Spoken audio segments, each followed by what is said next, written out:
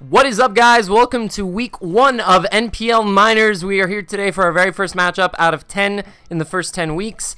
Uh, hoping to make it to playoffs. And of course, week one, we get paired up against our Kryptonite in league format, Jarr. And uh, I have one other Kryptonite, which is Murk. Uh, but yeah, so uh, not fun having to play one of my best friends week one, but uh, we're going to have to deal with it. Uh, you guys know our team if you watch the draft recap. Let's go over Jarr's team real quick.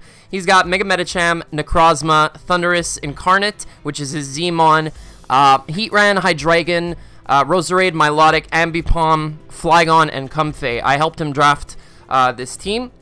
I made some of his picks for him. Uh, wasn't really content with Ambi Ambipom, but uh, for the, the, amount of points that he had left, uh, that's pretty much all I could snuff out. So uh, looking at his team, he doesn't have a lot of hazard removal. His only hazard removal is Flygon. Uh, chances of it coming are pretty low. I do have a Mega Blastoise. I have a uh, Mamoswine, which you can see on screen, of course, uh, which is going to be our first Mon. Uh, he's got um, a lot of things that are weak to, to Mamoswine, essentially. So, uh, yeah, that's that's pretty much it for that. Um, so, going over the team, first Mon I decided to bring, like I said, is going to be uh, Vastia, the uh. Choice Scarf. Uh, I was hoping that it would be able to beat out Thundurus Incarnate. Um, Scarf Heatran, if it's modest, uh, I believe I do outspeed. Let me uh, check that real quick. Uh, it hits 253, so no. Uh, I'm not exactly sure what I was outspeeding. His base 115. What was it again? Um, Ambipom. Yeah, that's right. So I was outspeeding Ambipom. I didn't think about Scarf Heatran, so uh, I decided to go with this speed. This allowed me to go Adamant as well. So, uh, yeah, 72 HP, pretty nice. Uh, Icicle Crash, Earthquake. Ice Shard is just there uh, in case I need it late game against Hydreigon, uh, Thundurus, Roserade. Smon does really well against him in general. Uh, his Medicham can't be Scarfed, so Earthquake does a lot of damage, especially coming from an Adamant Mamoswine. And I've got Toxic on there. Now, I debated the last move being Iron Head, as it does hit the Comfey. Um, but I decided against it because I, felt like Toxic would be better overall, uh, being able to hit his Milotic on the switch, which was his main response to my Mamoswine if it did come as an offensive variant. Obviously, he has a lot of things that can just outright outspeed it uh, and knock it out if it's not Scarfed. And if it is Scarfed, it's a little bit less of a threat because it can't deal as much damage to my Milotic. So, uh, probably should have put Iron Head on here, and you guys are going to see why later. But uh, yeah, this is uh, this is the Mamoswine set. Moving on to the next Pokemon, Cobalion. Ren, I've got uh, 252 attack, making it as offensive as possible. Really speedy, faster than his base 100. Uh, faster than Hydreigon if it's not Scarfed. Uh, faster than Heatran if it's not Scarfed. Basically, a lot of his Mons, including Flygon. Uh, Iron Head, Stealth Rock, Toxic, and Close Combat. So Close Combat, of course, to be able to hit the Ambipom and the Heatran and uh, Iron Head is there specifically for the and to be able to chip away at Medicham, uh, mainly. Make sure I have something to hit it. Stealth Rocks, of course, are going to help tremendously against this team. Uh, like I said, he doesn't have a lot of hazard removal. He only has Flygon, so Thundurus getting chipped is always nice. Necrozma as well. Roserade on the switch. Milotic to ensure some two-hit or three-hit KOs. Uh, always nice. And Toxic, once again, there for the... Mainly for the Necrozma, because it can outright wall me if not. Um, I can Toxic and flinch it down with Iron Head. Um, possibly. And it's also there for the Milotic switch because Milotic also answers to Cobalion relatively safely in general. So yeah, that's uh, Cobalion. Ren. Moving on to Luxor, the Blastoise. Now, uh, as you can see, my team doesn't have any hazard removal. Uh, Blastoise is the only possible option, and I decided not to run it because one Rocks don't affect me too heavily, as three of my Mons have recovery. Uh, in uh, Cresselia, uh, you're, you're going to see Loxus over here, the Vikavolt, and uh, Mira the Umbreon all have recovery, and Ren is on leftovers. So I didn't feel like I needed hazard removal. He does have access to Toxic Spikes and Roserade, which I did consider as an option. I did feel like Roserade was going to come, but I don't feel like Rapid Spinning is going to be that much of an issue anyway, because I do have Heal Bell, one, and two, again, only three of my Mons are affected by Toxic Spikes. So...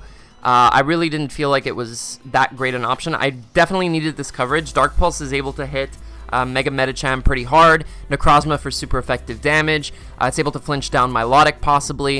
Uh, I did make sure that I was actually outspeeding a no-speed Heatran with uh, with this set, just in case that's what he decided to bring. Uh, I do have Ice Beam on here for the Hydreigon, as well as the Flygon. Hydro Pump is mainly for the, uh, well, to get off as hard hits as possible and to hit the Heatran, of course. And Flash Cannon was here specifically for the Comfey because I knew that thing would be a problem. So I decided to bring Flash Cannon. uh, not realizing that special coverage against a Comfey is not really going to help. Uh, so yeah, Iron Head on this would have been a lot better, but anyway, we got Flash Cannon. Uh, next up, we've got uh, Cresselia. This is my answer to his Mega Medicham, which otherwise would be a huge threat. I've got Rocky Helmet. With this investment, I can live uh, two Adamant High Jump Kicks after Rocks uh, pretty safely and uh, just be able to moonlight off the damage. And if he continues to high jump kick me, he's going to go down to Rocky Helmet eventually.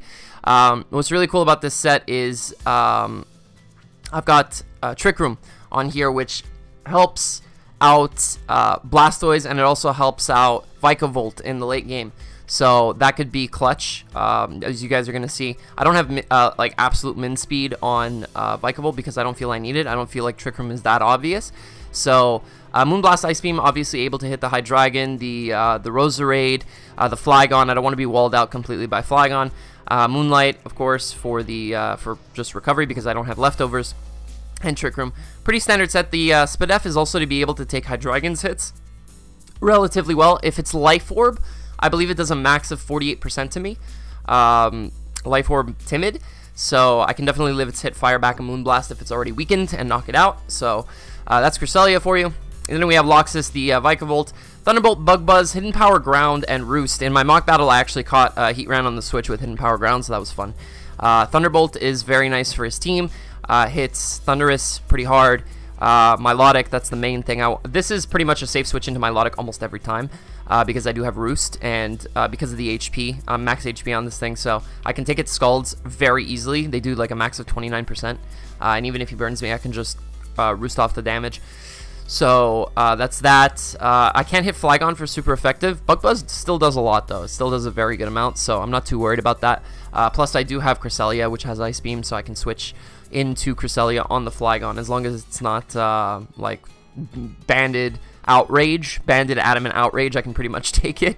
So uh, that's that. Uh, like I said, Thunderbolt, Bug Buzz across this team does very well and Hidden Power Ground is, uh, ground is specifically for the Heatran. Uh, and then finally we have Mira, the Umbreon, be able to heal up my Cresselia. It's a pretty standard set. It's max speed up because I needed something to take on the Thundurus at least a little bit, uh, as well as the Heatran, the Hydreigon. Uh, Focus Blast from a Life Orb Modest Hydreigon, I believe, does have potential to 2-hit KO even after Leftovers and Protect.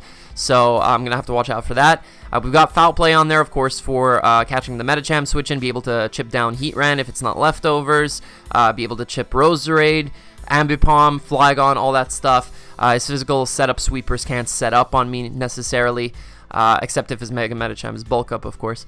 Um, but Flygon can't Dragon Dance on me. Um, Bulk Up Thundy, I guess, kind of can. Uh, but at the same time, it's probably not beating me 1v1 because he does reduce his own attack through superpower, so uh, there's that. And Heal Bell, like I said, is, is going to be able to clear off all the status from his, uh, specifically uh, for Cresselia, because I know that his Mega Medicham will run Toxic. I'm 100% sure of that. So uh, just being able to cover that is very nice. Uh, and Protect, obviously, to be able to snuff out the, uh, the high jump kick. you guys are going to see in the game that does actually come into play. So let's jump into the game and I'll show you guys what, what went down. Alright, so here we are. Uh, we are at the replay, and as you can see, he brought the Mega Medicham, the Necrozma, the Thundurus, uh, Roserade, Comfey, and Heatran. Now, I was really surprised not to see Milotic. That was the main thing. Uh, I was shocked, in fact, not to see Milotic. Uh, but I guess the rest of the team makes made sense. It was kind of like a toss-up between uh, Heatran, Comfey, and Milotic, which two of the three he wanted to bring. The rest of the team was pretty obvious. I did expect to come, so uh, I was well prepped for it, I felt. So uh, let's uh, hop into the game and we'll see how it went. So I'm going to lead off with Cobalion. It's got a pretty good lead matchup in general, and he's, he, he's going to lead off with Necrozma. Right away, I'm going to get up my rocks because uh, I see no hazard removal, so those are going to be up for the rest of the game. As he's going to get up his, I'm going to Toxic his Necrozma as he's going to reveal Earthquake. Uh, it's going to do a decent chunk to me, 45%, which reveals to me that he's pretty uh, attack invested, I feel like, uh, because regular Earthquakes don't do that much. So I'm going to switch into Mira the Umbreon on the next Earthquake. He's going to take another round of Toxic, which is very nice after Leftovers, so I do see those. Uh, I'm just going to set up a Wish on this turn as he's going to switch out into his Comfey, uh, which I am worried about, so I'm going to pass this Wish immediately into my Cobalion, knowing that Comfey can't do too much damage to me, as he's going to reveal his first move on this thing, uh, which is going to be Aromatherapy. And uh, I'm going to now fire off uh, an Iron Head, and uh, at this point I should have predicted the Heat Heatran to come in because it's pretty obvious, and uh, I'm just going to go for the Iron Head. Now, Uh, I'm actually going to go for the Toxic, excuse me. So I want to be able to stall the uh, Comfey out of uh, Aromatherapies potentially. Uh, and this also catches any switch that isn't Roserade or um, Heatran so, uh, that he wanted to go into. So if he wanted to go back into the Necrozma and start off the, the loop again, uh, was I would be able to catch that. But he does go into Heatran, and this is going to be a recurring theme throughout this game, is he's going to keep switching in this Heatran on my Cobalion as if I can't hit it for super effective damage. Now, I'm going to switch out, obviously, and I'm going to go out into my Blastoise, uh, knowing full well that this isn't a Zmon. He's going to go for a Fire Blast, and because I see Fire Blast, immediately I'm thinking Choiced. I calc the damage, and it's not Specs, so I'm thinking Scarf on this Heatran right away. And I'm like, okay, that makes sense that he brought it in on Cobalion like that because if I was, uh, let's say, an Adamant set with close combat, I could have heavily hurt him. His other possible uh, item is going to be Chople Berry. I don't see leftovers, so I know he's not defensive. More than likely offensive. This Fire Blast damage does tell me that he is offensive. So now I'm just going to go for the Dark Pulse. It does hit pretty much everything on the switch. He goes into his Roserade, very nice play, as uh, I'm going to get off a solid 40-ish uh, percent, 54, excuse me. Uh, now, I do have Ice Beam, However, Roserade with a grass move is able to obliterate uh, Blastoise, and he obviously is faster than me. Uh, so I am just going to switch out here as he's going to make a nice play and go for the synthesis on the switch out. I could have hit this thing very hard with a with an ice beam, but it's fine. He's going to get off a synthesis, and uh, now I'm going to try to flinch down this Roserade as, as it's the only option I really have to wear it down and uh, Ironhead's going to do a, a, decent amount. I am going to get a flinch on the first turn. I'm not going to get one on the following turn, and he is going to be able to synth back up but I'm trying to wear out the synthesis, aromatherapy, synthesis, all these moves that have 8 PP. I'm going to try to stall them out a little bit. So I do have Wish Protect, Wish Passing on the team, so I'm able to keep some longevity across my team. I have some recovery in uh, Vikavolt and Cresselia if you did watch the team builder. So I'm going to go for another Ironhead here as he's going to go for Synthesis, and now he's healthy and this is where I should predict him to switch out, but I don't. I don't make an aggressive play, and he's able to get in his Heatran relatively easily, again on my Cobalion. So uh, I'm going to Iron Head this thing. Now he's in range of a close combat after rocks very easily if he's not Chople Berry, So the next time he tries to do this, I will probably predict and go for a close combat. As he's going to Fire Blast, he's going to get a crit on my Cresselia. No big deal. The next one won't knock me out unless he crits me again. So I'm just going to Moonlight up. Now he brings in Thundurus, and the way he brings this in makes me think that he is set up and he's trying to get an opportunity to set up on my Moonlight. Uh, so what I'm going to do is I'm actually going to go hard Mamoswine here, and uh, I'm going to take the rocks, I'm going to take the poison uh, from the Toxic Spike, and he is going to go for Nasty Plot, so lucky for me. Uh, also, Dark Pulse wouldn't have knocked me out, so I would have still had my Mamoswine alive, and I would be able to Wish Pass into it later, potentially. So uh, I am just going to go for the Scarf Icicle Crash here. He doesn't see it coming, and he's going to let his Thundurus go down. So first big threat gone. Awesome. Alright, so that's out of the way. Now he's going to go into his uh, Medicham, and this is obviously a big threat, so I'm going to switch out of here, and I'm going to go straight into my Cresselia, knowing that more than likely a Fake Out is coming out. He doesn't want to catch a Scarf Icicle Crash right off the bat without dealing damage first. He's going to take a Rocky Helmet hit on my Cresselia, then he's going to go for Toxic. Like I said in the Team Builder, this is more than likely to come. The one good way to deal with Cresselia, if you can't hit it for super effective, and all your moves are resisted, uh, is to go for Toxic on it and wear it down gradually. So I'm just going to uh, now go for a Trick Room on this Comfey. And uh, knowing that he had to switch out his Medicham, what I should have done was actually predicted something else to come in uh, and made a hard switch into either my Blastoise or my uh, Vikavolt to catch any switch. Uh, that would have probably been the better play, but I'm actually just going to stay in and get up a Trick Room. I'm now going to go into my Cobalion as he's going to go for a Calm Mind, and uh, now that I see Calm Mind, I'm like, okay, so Calm Mind, Draining Kiss, uh, aromatherapy. I think I can deal with this relatively easily. Uh, now he's going to switch out into his Heatran, uh, sorry, into his Necrozma on my Ironhead and he's going to take it quite well. Now, the Trick Room is up, of course, so this is a little bit of a problem because I actually gave him a faster Necrozma than my Cobalion. So I'm going to get out of here. I'm going to go into Umbreon. I do get poisoned as he's going to go for the Earthquake. And uh, looking by that damage after leftovers and um, poison, I can live the next Earth, uh, the next two Earthquakes. So I'm actually going to go for a Heal Bell, take off the poison, make sure that I can live two, as he's just going to go for another one, trying to get a KO on me. And what I'm going to do here, of course, is just Wish, and on the following turn, Protect now, what I should have actually done uh, on the following turn was not gone for Protect and gone for an attack, uh, predicting him to switch out on my Protect knowing that I'd want to keep my Umbreon healthy for his Heatran later in the game now that I know that it's choiced. So uh, I am going to go for Protect, unfortunately, but this actually ends up working out because uh, I'm going to get a ton of health back, and uh, for some reason Jarr kind of had a lapse in judgment, and he forgot that I could Protect again, and he goes for high jump kick and deals 50% to himself, which is really nice for me, as uh, I'm going to switch out into Cresselia here, uh, and basically this Medicham is going to go down in a couple of turns, so uh, he is going to go for another high jump kick here. He's going to deal 32% to me, uh, which reveals to me that he was Jolly. And uh, I'm going to go for a Moonlight on his Toxic. And knowing that he's probably not going to switch out because he is in Rocks range and he doesn't have Hazard removal, I'm just going to Moonlight again, knowing that he's going to attack me. And I'm going to get back up to a decent amount of health. And he's going to end up killing himself to the Rocky Helmet. And uh, that's the end of the Mega Medicham. So now I have a an 88% Cresselia uh, sitting here against a uh, what seems to be a not so offensive strong team anymore. I'm up 6-4 and it's looking really good. So I'm going to switch out. I'm going to go directly into my Cobalion, of course, as he is going to go for a Draining Kiss. Now, uh, had I stayed in there, I would have actually noticed something that would have been very, very crucial later in the game, which is that Draining Kiss makes contact even though it's a special move, you don't see a lot of special moves make contact. Uh, two of the uh, most common ones are Draining Kiss and uh, Grass Knot. But I would have remembered, excuse me, the Draining Kiss makes contact and he would have ended up hurting himself to my Rocky Helmet and I would have been able to start wearing him down. So uh, that was actually a misplay on my part going into Cobalion. Uh, now, again, I am just going to go for an Iron Head as once again he goes into Heatran, so I didn't predict it. Once again, he gets in his Heatran for free. Uh, at that point, it didn't really matter because if I, I, did go for close combat, then he could bring back in Comfey and uh, start draining kissing me for a little more damage. As you guys saw right there, it did uh, not too much, only 18%. I'm going to get out of here. I'm going to go into my Cresselia once again. He does get a crit, I believe, on this turn with the Fire Blast. Uh, no, it's not this turn, excuse me. Uh, as I am going to Moonlight up. He's going to go for another Fire Blast. Uh, he's going to do 33%.